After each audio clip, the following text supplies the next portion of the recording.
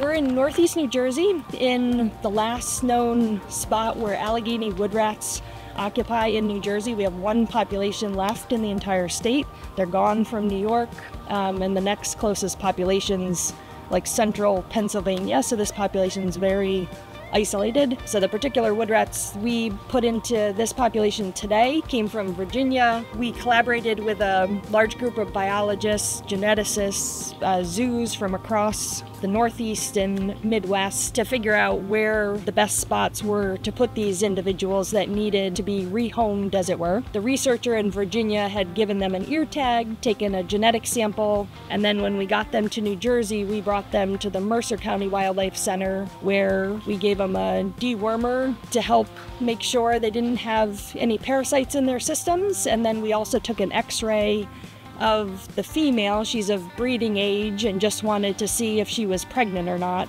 and she was not. So now we know that we released two individuals from Virginia into this population, so we know our starting point, and then we'll know in October when we do our annual trapping if we pick up these same individuals or potentially their offspring. We're hoping that these wood rats will help bolster the genetic diversity of this population and help keep it healthy and, and going as long as possible and increase uh, the numbers of this population. And so we're really excited about this, this new effort.